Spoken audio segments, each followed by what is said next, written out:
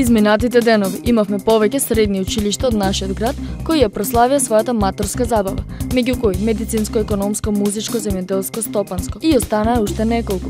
Синоќа својата маторска забава ја прославија матурантите од средното техничко училиште Ѓурги Наумов. Секако вечерта започна во препознатлив стил, со трубачите пред самиот влез на хотел Пинал.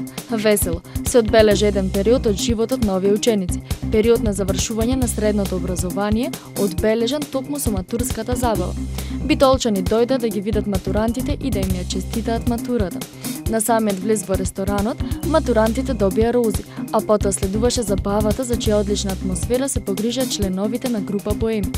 И професорите прославуваа заедно со своите ученици, а еве како директорот на Средното техничко училиште Ѓорги Наумов им ја честита матурата на учениците. Па да им пожелам се најдобро, ова вечер да ја запаметат, како посебен спомен, успех многу во понатамошниот живот, тие што ќе студират успешни студии, тие што ќе се вработат успешни работувања и се најдобро им пожелувам на сите матуранти.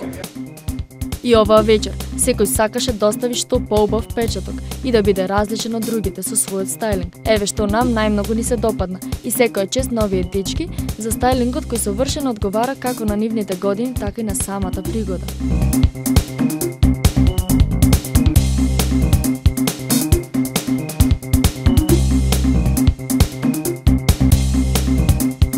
И нашата екипа им ја честита матурата на матурантите од Средното техничко училиште Ѓорги Наумов Битола.